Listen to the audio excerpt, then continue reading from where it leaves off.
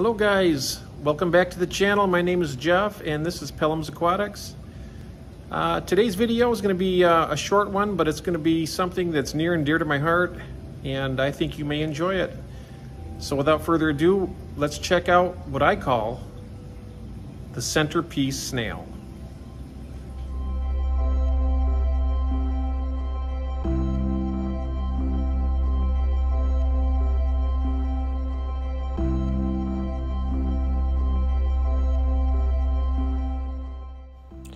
So what is a centerpiece snail? Well, in my opinion, it's this, uh, what's before you here. Something that catches your eye. It's generally larger than the other inhabitants in the tank, so it draws your attention to it. Similar to like looking at a solar system. You have the sun and you have smaller planets that surround it, moons, but the sun is at the center. That's just an analogy that I have for these guys in a nano tank with smaller uh, inhabitants.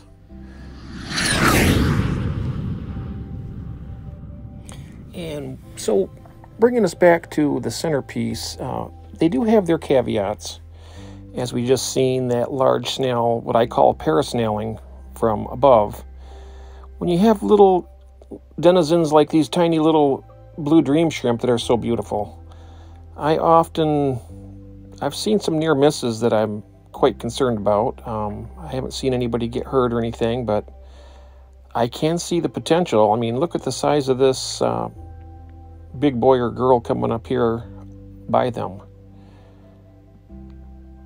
It gives me something to think about, but I've seen other people who have kept these snails and shrimp together without any problems. Uh, they are very peaceful. Uh, they never harm any, go out of their way to harm anything other than food. Um, as you can see that uh, inadvertently they cross paths. And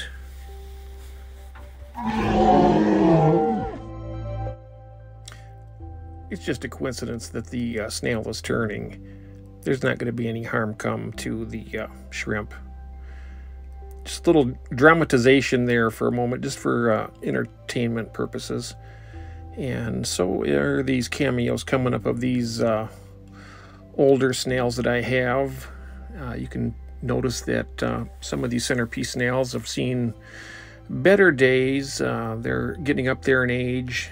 Um, and uh, a while back, I did an experiment where I put them on just a bare bottom tank. Uh, it lacked calcium. I didn't add the right supplements to the water, so their shells did suffer from it. I now have them on aragonite, and uh, they are healing up quite well, and uh, I've learned my lesson from that.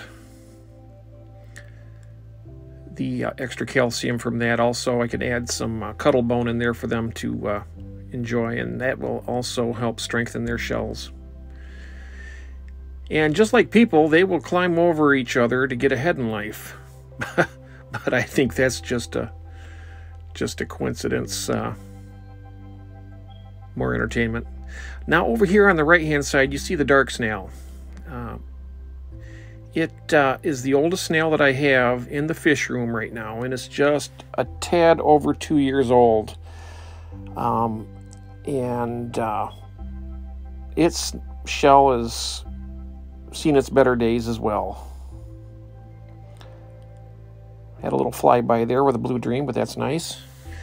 But yeah, he's older, and he or she, I'm not really sure what the gender is to be precise. I know there are ways to check, but I've never done it. Um, they they breed for me, and I just let them do it.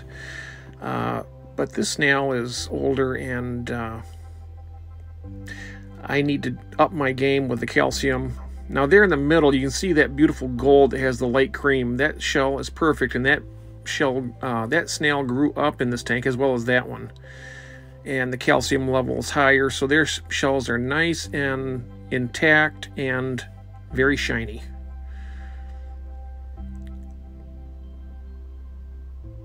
Just gonna glaze around the tank here and check out the other snails that are in here. We have some ram's horn snails and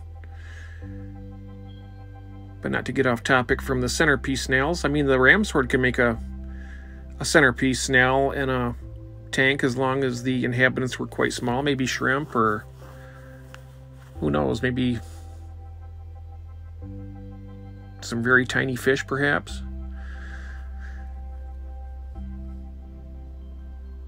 But yeah, I just thought I'd take the time, guys, to go ahead and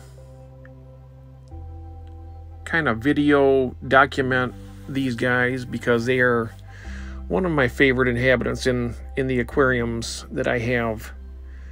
They've always fascinated me and uh, they seem to be just quite interesting overall. So, with that, I will let you enjoy the rest of the footage, and I hope everyone enjoys this. If you have any questions about mystery snails, please don't hesitate to ask, and please, uh, if you would, like, comment, and subscribe if you're new here. And uh, leave me a comment. I always enjoy interacting with everyone, and everyone, I hope you have a very wonderful day.